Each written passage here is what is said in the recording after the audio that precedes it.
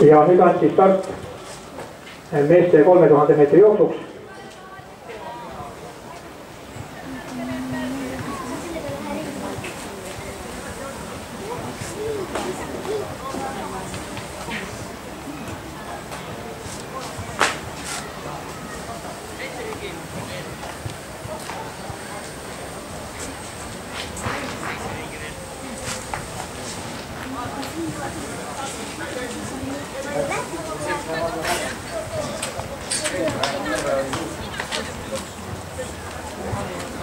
Ja jooksjatel tuleb läbida siis seitse ringi ja kakssada meetrit, need seitse pool ringi. esimene ring saab läbitud. juhtkolmik on praegu siin teistest tugevalt lahti rebinud ja siin on ka mõned daamid on täna tulnud ka siia starti meestega koos jooksma ja siin on ka, näeme, et Andi Linn, Raivo Nõmm ja Jüri Siht on siis Viljandimaa meestest läbinud esimese ringi ja Raivo Nõmm läks nüüd neljandana ja kolm, kolm meest on sealt eest ära jooksnud teistel.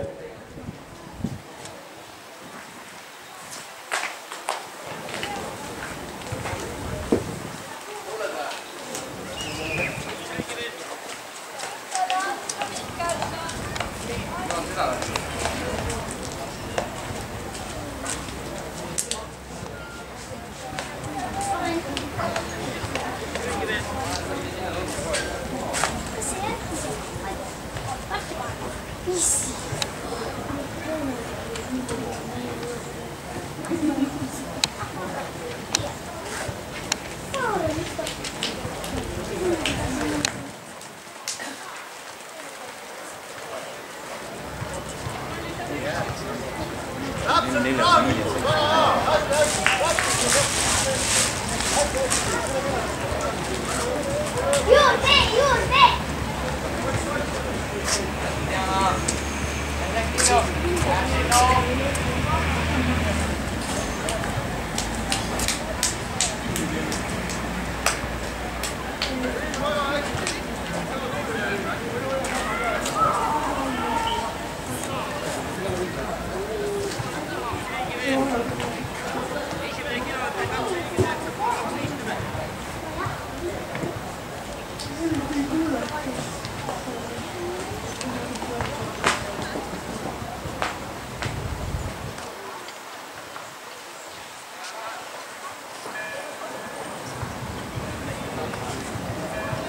Ja jooks kulgeb siis Roman Porti vedamisel praegu.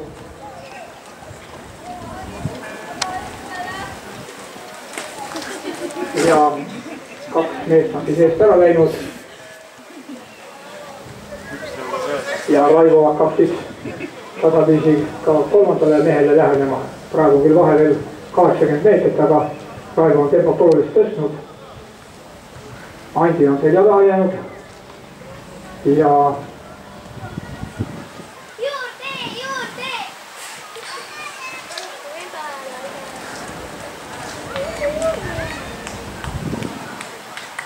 ja siin näeme, et siin ka daamid on päris tugevat konkurentsi pakkumas meie veteransportlastele Andi Linnale ja Jüri Sihile. Jüri on vanuseklassis mehed nelikümmend viis ja Andi vanuseklassis mehed nelikümmend.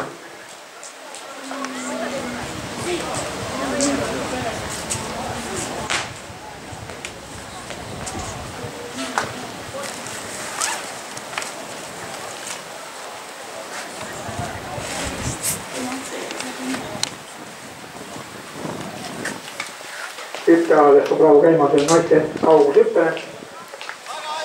ja näeme, et kettaheide on seal ka käimas, kas seal nüüd praegu on ikka jah, poisid, poisid vanusega.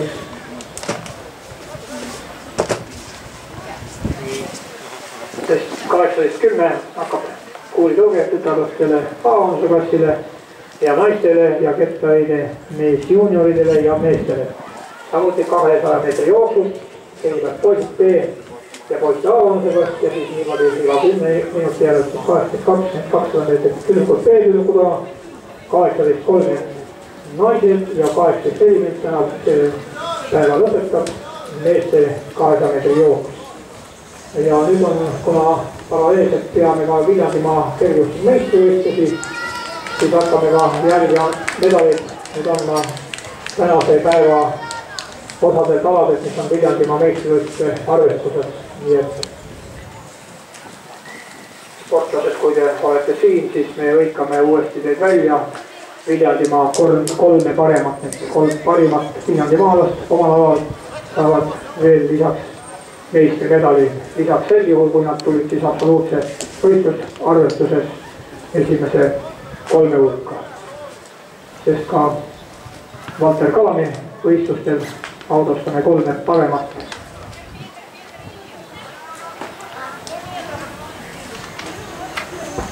ja Raivo läheneb endiselt siin kolmandale, kolmandale meesjooksjale.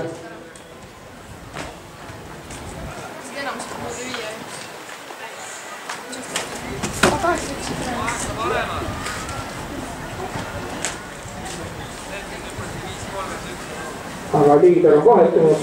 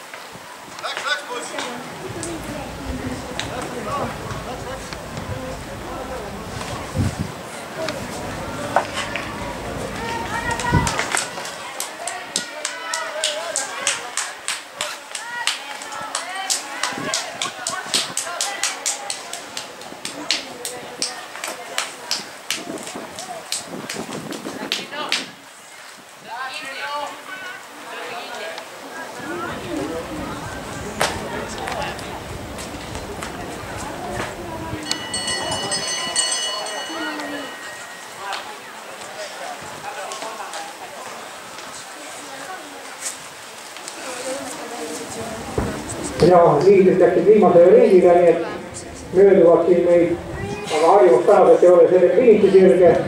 nii et siit jääb veel kolmsada meetrit joosta liidritel ja, ja praegu möödusid siis siit ja näeme viimased, viimased kakssada meetrit, siis liidritel jääb joosta, kumb siis meestest võidab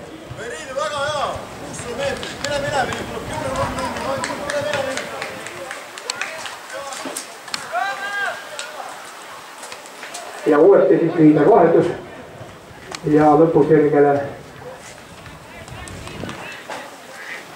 ja ei mingit sõna õigust, nii et. ja Raivol jääb veel üks ring joosta.